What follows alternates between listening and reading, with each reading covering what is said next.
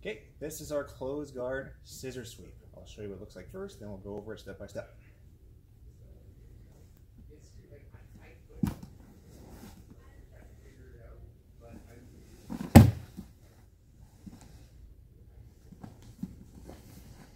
Alright, scissor sweep, closed guard. So, step number one, just like closed guard, I want to have my sleeve and collar grips. I'm trying to keep my sleeve grip on top of me. So my partner's hand is on top of my chest to take away their posting ability. Step two, I'm going to open my guard and shrimp to my side so that I'm facing the arm I have. Step number three, I'm going to get my shield in place and put my leg, my shin, right on my partner's chest. Step number four, I'm going to slice with my legs like a pair of scissors and perform my sweep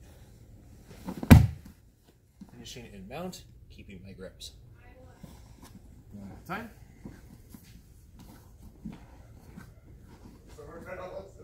So, step number one, I'm getting my collar and sleeve grips nice and tight.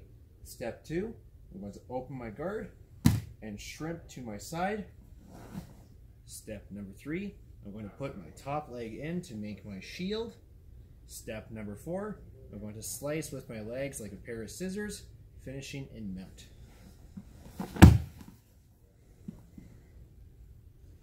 That is your close guard scissor sweep.